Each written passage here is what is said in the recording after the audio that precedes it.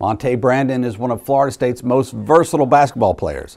However, his key to success is the leadership skills that he brings to the court every day. Nicole Rankin has this feature to give you a deeper look at this talented athlete. At 6'8 and 225 pounds of pure talent, Montay Brandon is one of the most adaptive players on the FSU men's basketball team. Not only is he an impressive point guard, but Brandon also has strong rebounding abilities and defensive skills at the wing guard position. Um, I've always been more of a two-box guy, um, somebody does a little bit of everything.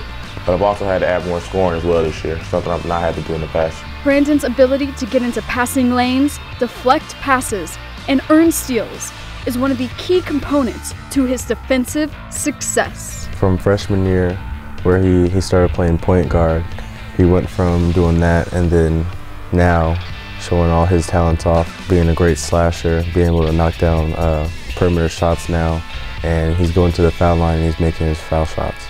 Last season, during his sophomore year, Brandon was the only player to start all 36 games for the Noles. He had one start at the point guard position and 35 at the two guard spot.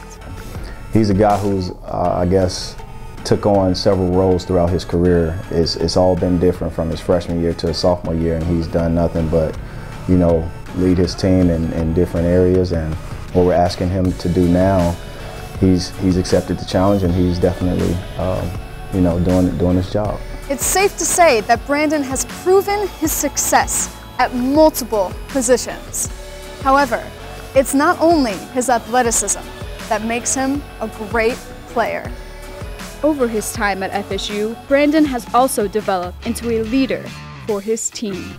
Uh, I think he's matured as a leader as most time leading leading by example, and then he'll say things that in key moments that will try to get us over the hump. Brandon's leadership and diverse abilities also allow him to assist on both offensive and defensive positions. The main thing is being more efficient. I mean, my first year here, my field goal percentage was low, my free throw percentage was low.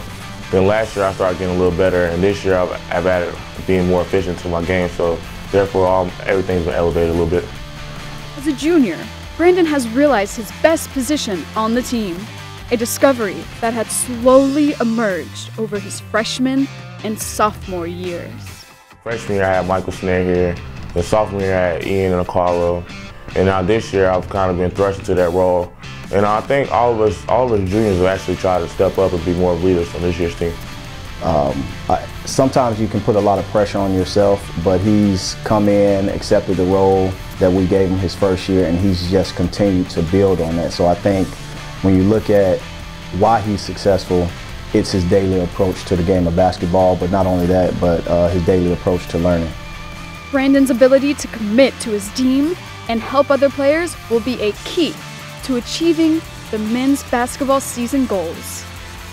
Montay Brandon's diversity will continue to aid in the growth of the FSU men's basketball team.